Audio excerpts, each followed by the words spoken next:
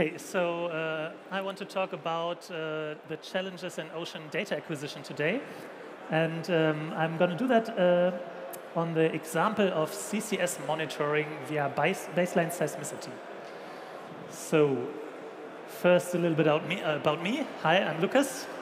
And um, I create uh, embedded systems at KUM, which is a company that builds underwater data acquisition systems specifically mainly um, ocean bottom seismometers, but also other kinds of systems. And we have a big focus on reliability and ease of use. And what I want to talk about today is carbon capture and storage. So there are some, some sectors of the industry that are easily decarbonizable.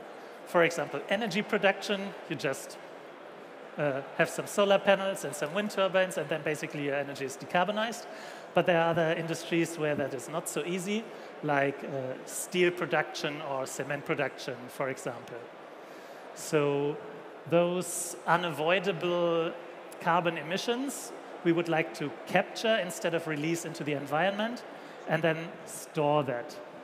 And uh, right now we're uh, evaluating um, or like several countries are evaluating the possibility to store the captured CO2 uh, beneath the ocean surface in geological formations. And um, CO2 storage can cause stresses in the geology of the, of the storage formation. So monitoring is essential because otherwise uh, disasters could happen and we wouldn't know about them. Um, so the seismicity is measured with uh, seismometers, uh, which are distributed over the storage formation, uh, over the storage site, basically. And um, what we do is, uh, before the injection of CO2 begins, we do um, we do a baseline seismicity measurement, so we measure all the sounds that the ocean floor usually makes um, including small earthquakes. And then we get a picture how everything looks in an undisturbed state. And then when the, when the CO2 injection begins, um, we continue measuring the seismicity and uh, even after, after it ends. And when there are any changes, we can image those stresses that, that might appear um, in, a, in a 3D a picture of the, of the ocean floor and then take informed decisions on whether to continue the injection or do the injection somewhere else or like um, do it faster or slower. And uh, risk can uh, properly managed uh, this way. But um, on land, all of this would be easy, but on the ocean floor, there are a lot of challenges.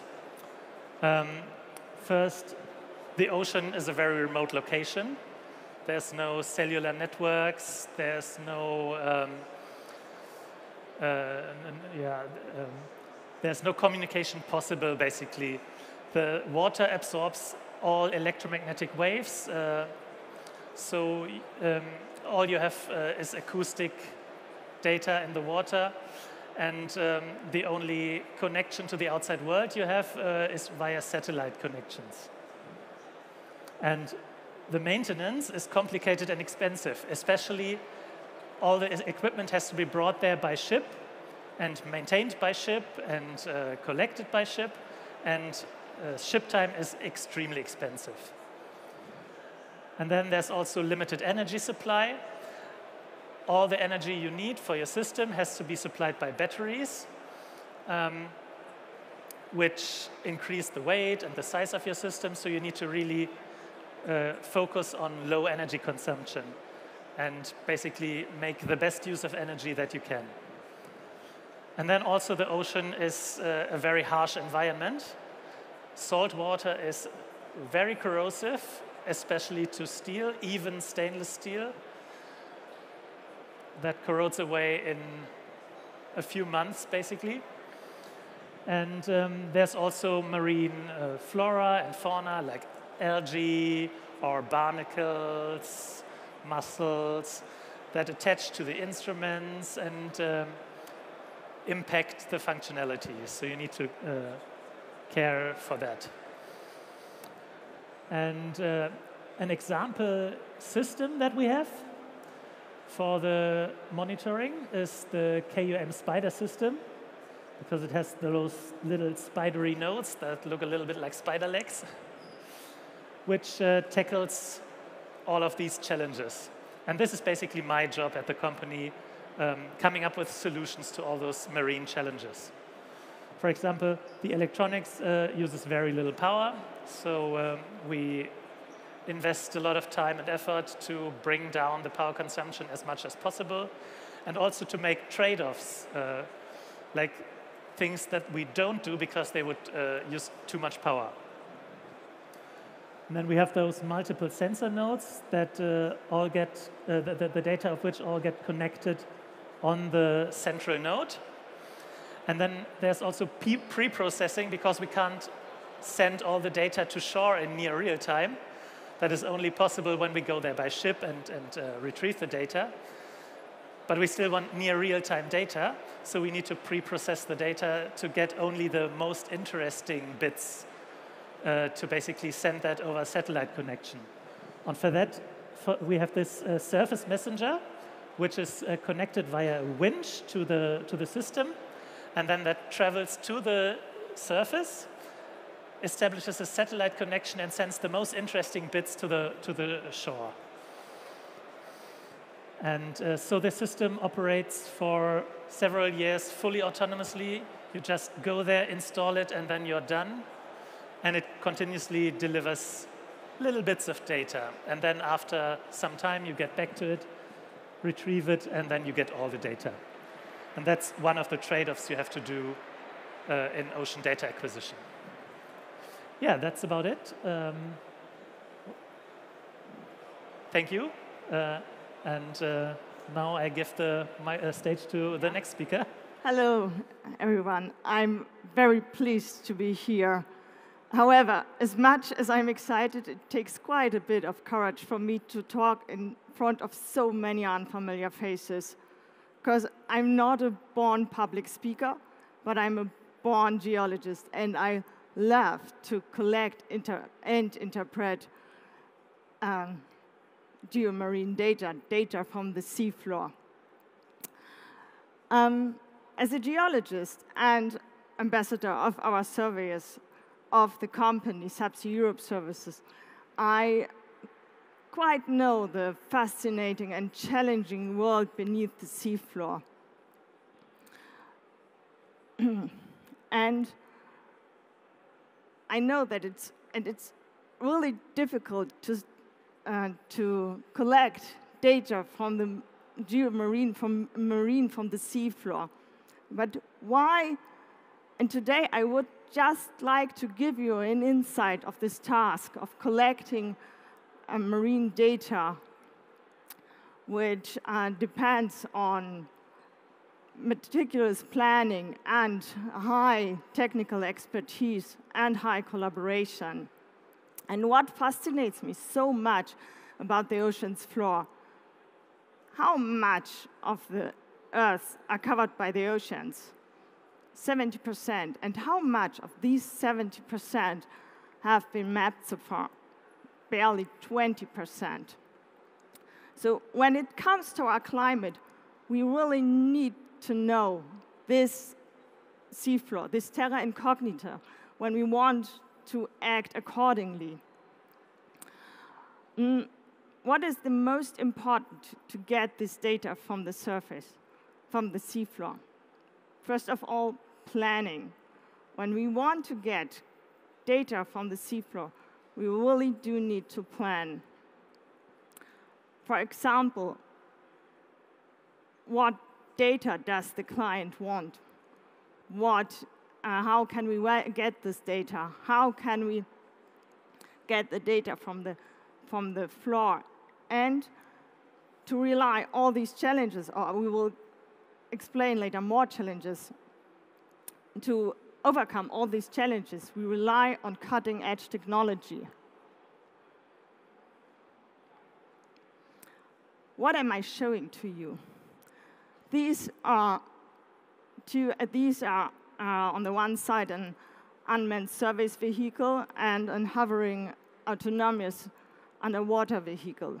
These are vehicles which can be equipped with hydroacoustic equipment, devices, and collect data for us autonomously.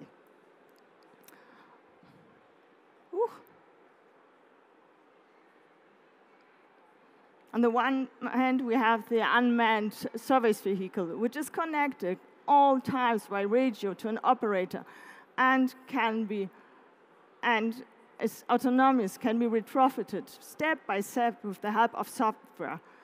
Under the USV, we can connect, we can, it can be equipped, for example, with the multi-beam echo sounder, with a side scan sonar, with cameras.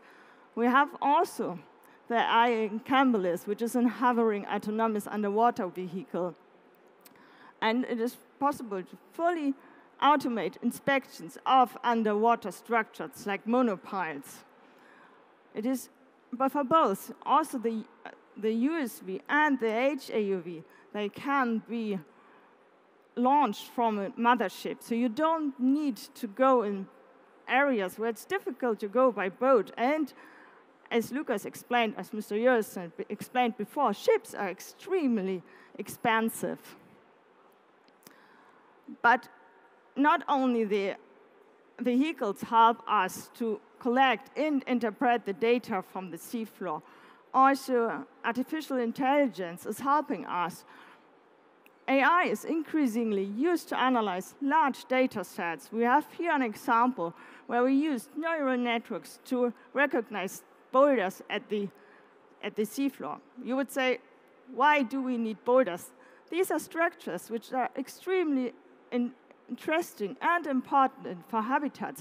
Or if you want to plan a, an offshore wind park, you do need to know what is below the surface. You need to know what is on the seafloor. As for now, I'd like you to tell me maybe, because we have dealt lots of, like the sessions before, they were basically about land, right? But now we switch to the to the blue economy data, and that's why, as an intro question, I would like to zoom out a little and ask you guys, what do you why do you think it is important that the GIS world is actually considering more and more to have more data about the, the, the blue part of our planet? Let's put it like this.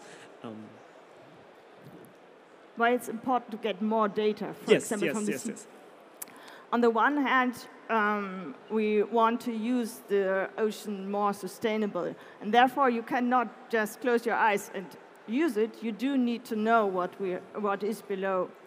And you, you do need to know if, for me as a geologist, it's quite interesting if I have sand, if I have boulders, and so on. And we want to delineate habitats, for example. We want to know where we have, where we have uh, areas where we want where we are able to build offshore wind parks, for example. We want to know where it's possible to put cables around. And it's not, and for example, it's not, the, it's not only offshore wind, it's for example seagrass. Seagrass is growing on the seafloor. And it's really important. It's a, it can capture a lot of carbon, and we want to know where can we find this seagrass we can delineate the sequence. Was the sequence before? How, what's happening when we change something in, in when we change something in, in, in our economy, or, or what, what will happen when we change, for example, when we build an offshore wind park, and does it change anything in the area in the seafloor, or does it change the, um, the ecology or the below on the seafloor, on the seabed. So at the end of the day, it makes more sense to understand the whole picture, so both land and water, in order to make more holistic decisions and better decisions that are that make sense in the middle and long run, not just in the short term. And therefore, I, I do understand that there is just some inevitably there is an interaction between land and water, especially when it comes to um, human-centered projects, not the ones that are just ecologically focused. Lukas, what would you like to say as this in, in this intro session where you can actually say why it's important to gather data about the blue part of our planet? Uh, well, if, if, we want to do something like uh, the CO2 storage uh, that I talked about earlier, then uh, there are risks associated with it. Like we can't just go there and pump in CO2 and hope for the best. We need to actually know what happens there. And uh, we can only know that if we have accurate data um, over all the formations, the geology, um, how, how, the, how the CO2 is moving, how cracks are forming, how stresses are forming. And um, that, that is really important, and that also uh, applies to basically every other field of, of science that you can do on the ocean floor. And overall, it's a very interesting environment, as Agatha said. 70% of the world's uh, surface is ocean, and uh, this is basically, for the most part, unexplored territory, or very barely explored. And um, having better data there will uh, basically enable lots of other research and our understanding of the planet as a whole. Wow, that sounds pretty fancy, but in, in the end, that's exactly what it is. And I do think that the monitoring aspect, especially when it comes to the long term thinking, is quite important. So the, the earlier we start, the better it is for uh, everything we do with water. Now, having stated why it is actually important to monitor, to gather data about the, the blue part of our planet, I'd like to deep dive a little more into, literally, actually, into the question how we can actually master all the challenges that we are confronted with when we try acquiring or gathering data about the ocean because we have limited accessibility as you have actually pointed out in your in your slides um, we have the problem of like yeah let's let's say the, the sheer like vastness or, or, or size of the, the, the regions that need to be um, actually digitized. There's quite a few challenges. Maybe you can like name a few more and then tell us how you're overcoming them. This is for both, like whoever starts. um, yeah, we overcome these challenges first with planning, with meticulous planning, um, and then we are, as, as I uh, show you, we, we are using these USVs or the USV. It's, it's better to, you do, we are using USV and the help of AI. So you, you are going out, you can, you can, you can, um, you can measure permanently the data. You can measure permanently and get permanently data from the from the seafloor. And, and, we, um, and we are working together with other companies and using sensors and try to, to yeah, we, we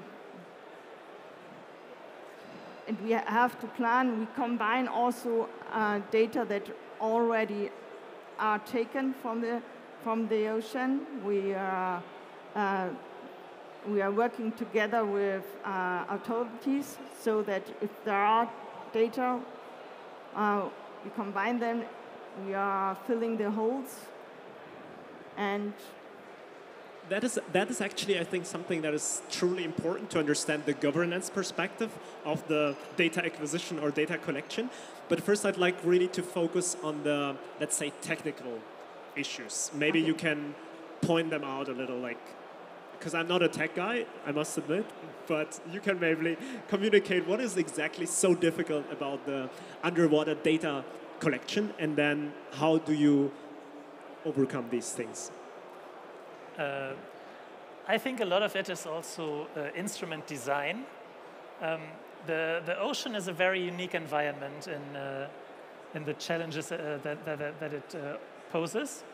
And uh, you can you can um, get to these challenges by making compromises at the right, right, at, at the right spots and doing your instrument design um, with that environment in mind. So for example, the seawater is highly corrosive. So some companies are using steel tubes, which work okay for short durations, but they are really, really susceptible co to corrosion. So what we do is we only use titanium for all our metal parts. And the titanium parts, after 20 years, they look like new. So that is not an issue anymore. Then there's the, the issue of the instrumentation itself.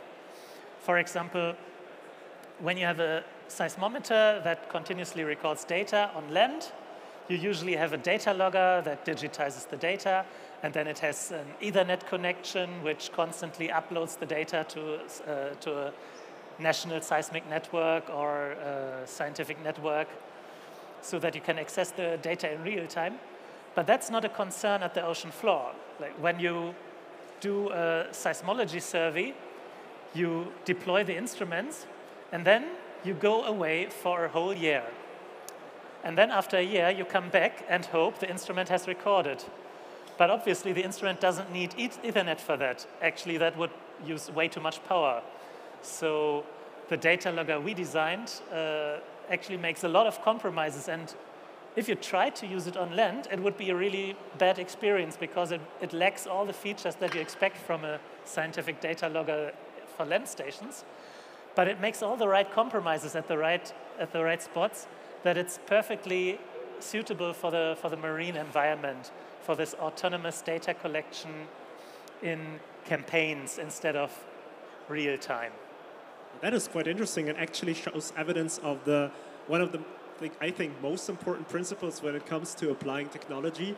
Like what is the actual purpose of the technology and how much of sophistication do we need to, to actually reach our goals when we apply a certain kind of technology. So in this case, for a maritime context, that's perfectly enough. And actually, I wanted to ask about the energy supply. How does this work? And is that also a, a challenge when it comes to the data acquisition in the in the deep waters? You can. yeah, it, it is a challenge. Um, for example, for the USVs, you, we have batteries which are working for around six hours and then we have to change. But we have concept where it can very fast change, and uh, and the batteries are improving, so they are working longer. And with the HAV, there is an Ethernet connection and also batteries which are working a, a little bit longer. But as you mentioned, it is a challenge. Mm -hmm. And you have mentioned the Ethernet connection a few times. Um, what is like the electromagnetic waves? They don't work, right? Underwater, it's it's not possible. So that just for me right. to clarify, this is why you're actually um, like uh, stepping back and using Ethernet, right? Uh, well, so underwater you have a few options for communication. The first option is you lay a cable, but a cable is really expensive. Basically, when, when you lay a cable that's only a few kilometers, it already dwarfs the cost of the instrument. So usually when you, when you do a survey in the middle of the Pacific Ocean, then that's out of the question. Um, the other communication channel you have is acoustics. So basically what whales use, they talk to each other over hundreds of kilometers with, uh, with their whale songs. And uh, actually, hundreds of kilometers. Yeah, the, the, the, the, acoustics underwater are really different uh, from in the air. So um, you need a lot of lot more pressure to get uh, to get it going, but then it travels a very a very long distance. And um, if the conditions are right, uh, you can actually communicate over over hundreds of kilometers. But that's more of a niche case. So, but the problem with the acoustic channel is it's only a few kilohertz of bandwidth, and uh, that limits the data rate you can get. So our instruments mostly only use it uh, to uh, for, for like uh, basic signaling. For example, when we have deployed an instrument and that sits there for a year or maybe even two, and then afterwards you come back, you give an acoustic signal, which is just a few beeps, and then the instrument on the ocean floor hears that, opens the lever, and then drops an anchor weight, and that makes it possible that the instrument comes back to the surface, um, like on its own. Um, yeah, but uh, electromagnetic waves, for example, Wi-Fi or I don't know LTE or something, that has a range of a few centimeters under, underwater. Okay. You can do it if you have the instruments right next to each other, so they basically have to touch. But uh, as soon as you have only a few meters of distance, that, that completely stops working. You would like to add something? but um, in the USV, we are using 4G. If there is a payload inside, a payload PC, and we are using 4G, and we get the information in real time, which is measured because we have the USV above the water. So. So there is uh, use cases where you can like niche use cases where it works and makes sense. Okay, actually. Yeah, if you have the antenna above the surface, above or like the on the surface? surface, yeah, exactly, then, the then the, the electromagnetic wave travels through the air, and that's not a real problem. It's only when the system is submerged, then it becomes a problem. So um, what you often also have is uh, a buoy with the antenna, and that is connected to the system via a cable. Oh, I see, I see. For example, um, I showed it earlier on my slide, the, the spider system actually has a winch uh, which uh, has like a little messenger buoy that travels from the instrument to the surface, sets, uh, sends a little message to the, to the, to the shore, and then it, it submerges again. I actually, yeah, I, I, can remember, I hope you do as well, quite well, the, the, illustration that you've shown of the spider, and that makes perfectly sense. Yeah. That the, the communication between the thing on the water is basically organized in a different way than after this to the to the station. Yeah, exactly. You need this this this hop between this between the the ocean floor and the surface, because only then you can use electromagnetic waves and, for example, satellite connections. So at the end of the day, it's it's a combination of both. Yeah. If there's something else that you'd like to add to this technical part, please those do so now. Otherwise, I'd like to continue. Is there something that we should discuss here? Okay, then I'd like to continue with the next question, which is going to be so we have gathered all the data, or we are about, or we know how we can gather it, more or less, mm-hmm. with the instruments you've mentioned before. But could you please tell us what are the main use cases, if we had to cluster them, that data actually collection underwater is happening for? Like, who is has an interest for that? Is it more the civil side? Is it more the military side? Is it more the yeah? I think the research side could also be part of the civil. But can you maybe elaborate on who would be the customers of your company's services, for instance, and then kind of give us a draw us a picture who, who's currently a pioneer when it comes to data acquisition in the blue economy. Um, our clients are mainly the offshore wind park, uh, okay. yeah, the, the offshore wind parks where we have regularities in Germany where, for example, we have to uh, we have to maintenance the whole area of the wind park in four years. So every year we have to collect data from the seafloor uh, 25 or one fourth, 25% of the area we have to measure again. And uh, to just to know if there are if there are problems with the cables or anything else. Also, the monopiles have to be uh, maintained every year. Mm, also, um, yeah, these are the, the main clients. But um, if we look in the future, we also want to know how how uh, the seafloor changes, and we have, for example, a lot of unexploded ammunition. We have a lot of unexploded ammunition. We also do need to find this ammunition in the Baltic Sea and in the North Sea, which was thrown into the water after the World Wars. this will come or is increasingly in, uh, yeah. Thank you. Would you like to add something? Uh, yeah, so our main customers are, um, up until the recent years, uh, mainly universities for different uh, scientific research. Um, in the last few years, we have uh, also been expanding into the ammunitions clearance um, industry.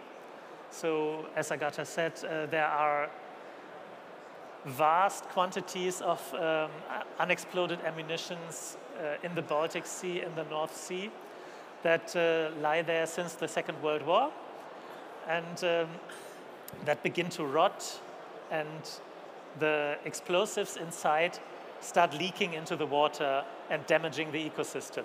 So we need to act now and uh, basically clean that, that up.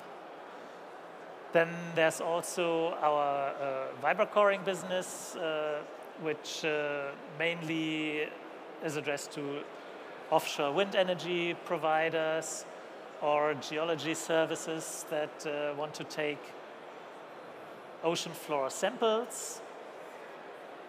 And then the next big thing is probably the carbon capture and storage monitoring under the ocean floor, which is something that's in development right now in multiple country, countries. There are multiple projects uh, all over Europe that want to store CO2 in ocean geological formations, and that needs to be monitored. And this is something that uh, we also do or want to do. That sounds very interesting, and on both sides actually. And like keeping that in mind, my next question would be because on land we often have the situation that there's several stakeholders that are interested in how the land is basically digitized let's put it very mm-hmm. generally but here when it comes to the blue economy there's not only several stakeholders there's also several countries and different institutions like on a supranational level and if you had to actually draw a map based on the use cases that you just mentioned and your primary customers, could you tell us how, how does it work? How does this ecosystem actually balance itself out? How does it, yeah, what are the rules? How do you share data? How, is, how are use cases developed together? Is it mainly through research projects or is there initiatives between the countries that they push those things forward? Is it the energy supplying companies that are the pioneers? Well, in my experience, uh, the players that operate mostly on a multinational level are actually the, the universities oh. and the oh. research teams, which often do cooperations um, that span several countries. For example, France and Germany are working closely together there and doing expeditions together. Mm-hmm. Then, obviously, there are other countries that are working together. On the carbon capture and storage side, it's mostly national projects where we are in multiple of them, but they obviously they coordinate to, to a level, but it's mostly like the, the Norwegians do their thing in Norwegian waters, and Germany tries to do the storage in German waters. Um, and obviously, there's a lot of regulatory uh, complications, um, even when you don't have the, the multinational level for example, in Germany, it is not yet legal to uh, inject the CO2 into the, uh, into the ocean floor. That is only coming in the next few years, probably. So this is still at the beginning, at the exploration phase, basically. But um, yeah, there's, there's a lot of movement. And the, the scientific community has, has been doing that for, for decades, basically. They've always worked together and um, done projects together. And this is something really exciting. It is, but let me ask one question further. But this means at the end that the research funds that are being actually allocated for this research projects, they are part of a political decision or priority? Or is it something that the universities decide on themselves? So I wonder if this is something that has a geo or just political priority, and that's why the, the universities are doing it, or if they are doing it just because they're interested in that and want to make the world a better place. Uh, well, I'm not too deep into scientific uh, financing, but um, there are obviously the national bodies that uh, finance the, the national science. Um, but there's also the European Union, obviously, which, uh, which, which has budgets for different projects, and there's also steering happening. But the uni universities also have their fair share of input as they are the ones proposing the projects. Actually, yes, yes. As in every other field, that's that's the, the task of the universities Yeah. actually, or the research institutions generally. Okay, would you like to add something, Agata, to that? And Big could, could you repeat if you want to know if, if who is forcing more this economy, if it's national or Exactly. So, who? What are the driving forces basically in this ecosystem? Who are the stakeholders, and how are they collaborating, especially on a multinational level? Um, yeah, as you mentioned, in an international way, mostly universities are working together. And um, but uh, forcing, I would say that it's more uh, or less the or most the wind energy sector who is really forcing the the uh, um, the data acquisition, the uh, we want to get the information, and the authorities, and also EU directives, because we have EU directives um, for a couple of years where all uh, European countries have to um, have to delineate their most important habitats. And for this, we do need to digitize the uh, ocean's floor, to just to know which habitats do we have on the, uh, on the seafloor. So also the regulatories from the uh, Europeans. That, so at the end of the day, that's also a political driving force, basically.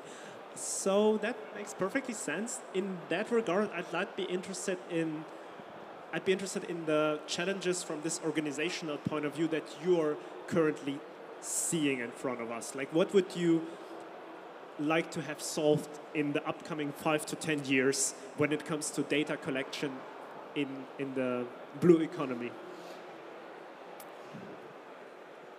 Um, for example, regulatories also I would like to have solved, uh, solved because in some countries it's uh, more clear how to use USVs.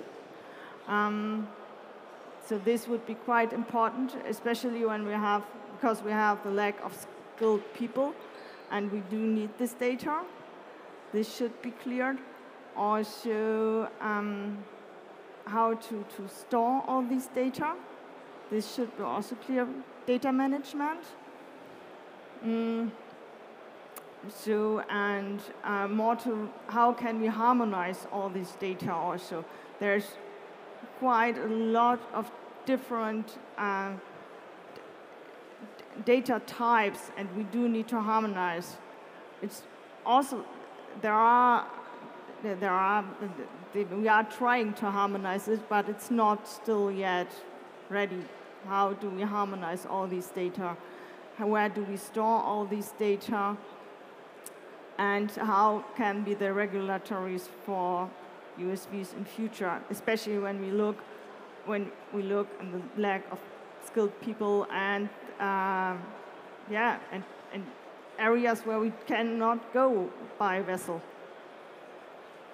I think the the harmonization of data, also the the requirement or yeah the more skilled people basically in the field. This is something that is seems to be a meta topic because it's also on land very important also for smart cities. Um, is there anything else you would like to add when it comes to the upcoming challenges that Agata actually pointed out already? Uh, well, I'm mostly um, familiar with the seismological community, and there's actually a lot happening um, where they try to build uh, shared databases where you can access the results of, of studies that have been done, of, of experiments, and um, all the data gets collected into um, a multinational data pool that is coming in the next years and it's, it's developing right now. And they are already pretty far, I would say. Um, in other fields, there is little sharing right now. Um, which is like th th this would be a very important change that the data is shared between the institutions so you can actually make use of, of more of the data. Yeah. So you, you'd like to add something? I, I would like to, to add something to the data management. Uh, we were working on a project where we searched data from the seafloor and we have had to call to different institutions and everybody has a little bit on his hard disk and you have had to search this together. So this is really quite important. Yeah, yeah as, as, you mentioned, like uh, also the storage of the data is quite a challenge since the, the data storage media get bigger and bigger. So you collect more and more data, but that has to be stored somewhere. And uh, that also gets more expensive the more data you, you have. And downloading, downloading the data takes quite a lot of time. Yeah. And um, you, ha you have to keep that in mind. That's, that's a challenge that has yeah. to be addressed, basically. And then we can also add, as you mentioned, we, we collect more data. And then, for example, we do need something who is also helping to, to interpret the data, as we mentioned, for example, artificial intelligence. So that we do need not only to collect, also interpret, also um, analyze the data. To create information in, out of it. yeah, to create the information. Information out of the data. Exactly, yeah. And I think that brings us to the last topic, I would say, last session oh, of this session. I'd be interested in the outlook. So when we look basically into the future and also maybe have a, maybe an ironic view on the topic. Maybe you have some anecdotes to share, or maybe there's something that you could share about your fascination when it comes to geospatial data in the blue economy. Is there something that's like more of a, an open, open question, or also maybe some new technology that you're looking forward to applying, like some fancy autonomous systems? Is there something that crosses your mind that you'd like to share with the audience? with um, yeah, uh, what me fascinates on the data is, is when you when you see them and when you interpret them and when you, for example, com uh, combine different information, not only from a multi-beam echo sounder, not only from a side scan, also videos, and you connect them and you see that this does fit together. And when you and when you add them to other information like currents and you see okay everything does fit together and when you are not exactly with vessel out just sit in front of your computer and see that something is that the USV is measuring for you and you, you get the data instantly and the same in real time that fascinates me. I can imagine. I would love to have some more visual insights on that process where you can actually see in real time how data is being, or the environment is being digitized and processed. Um, but oh, when you when you sometimes have only one device or um, different devices and you don't know um, you, you cannot interpret the one device, but put together the information from another device, and then it does fit, and you learn what could be the other, let us say, in object detection or in detection of, of seagrass, of other environments. It's, this does fit together, you learn all the time. So it's this really about me. exploring new frontiers and exploration in generally that fascinates you. Very nice, very um, impressive motivation.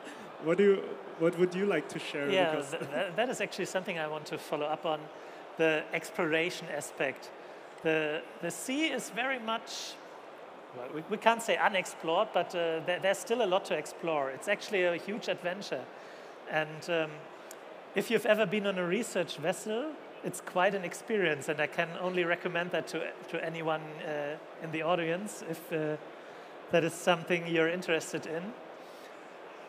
So um, yeah, it always feels like, like exploration. And uh, there's always something, something new to, to discover. I strongly believe that. Uh, so far, I only read books or watched movies on that kind of, of things. But if if there would be an opportunity, I think no one would say no to, to join a, a research vessel, right? um, I would like to actually surely, like slowly but surely close our, our panel, our session.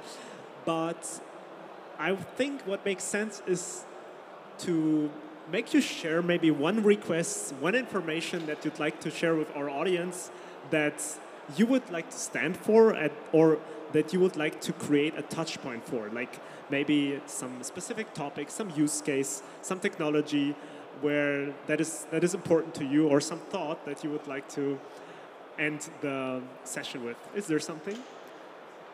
Uh, Why I should people approach you, for instance?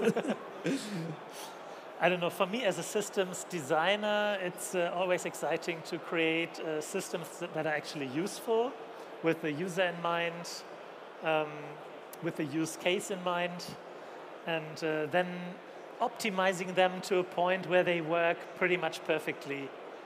And um, yeah, basically fulfill all the requirements, um, and also, if possible, they should look slick and uh, bring the user joy when interacting with the system and deploying it, retrieving it, analyzing the data, so it should never be in the way of the user, but, but be a helpful assistant, a helpful tool. Nice. So if there's anyone who, who's interested in that kind of call to action, please feel free to, to contact or to approach Lukas yeah. uh, after the panel. How about you, Agata? Yeah, for, for me, it's for me it's important to to give to give the information so that people can make decisions on how they will use the floor. This is really important. For example, when, when we interpret this, I can say, oh, here's a hard ground, or here's a very muddy. It's, it's really important to give information and, and to give the information about changes. How was the environment a couple of years ago? How is the environment now? What's changed? This is really important for us. And how can you collect all these data and interpret and analyze and use this, what you analyze, this information? So for anyone who's interested into creating big action from big data, I would say in that case, please approach Agata. Thank you very much for this enlightening discussion. And um, if there's no questions from our audience, unless please raise your hand to our both experts, I would actually like to close this panel now. Thank you for having us. Thank you. Thank you very much.